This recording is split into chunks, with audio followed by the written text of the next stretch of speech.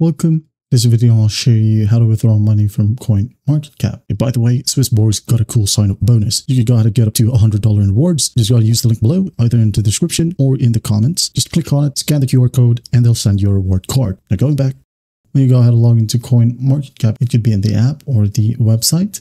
And uh, maybe there's someone uh, that is trying to contact you and uh, told you that you need to send them money for you to be able to begin trading with CoinMarketCap. Well, that's a scam. All right. Don't fall for it. So first up, again, sometimes they show you the uh, portfolio area right here. Okay. Where you go ahead and connect it with the wallet.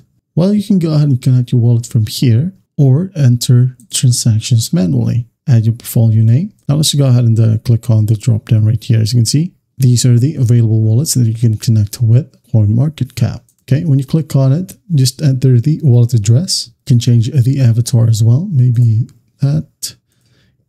Save, enter the wallet address and uh, name your portfolio right here.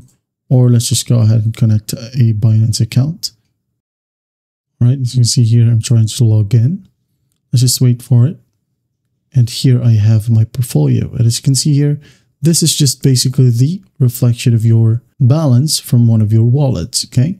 In here, I have 8.8 USDT.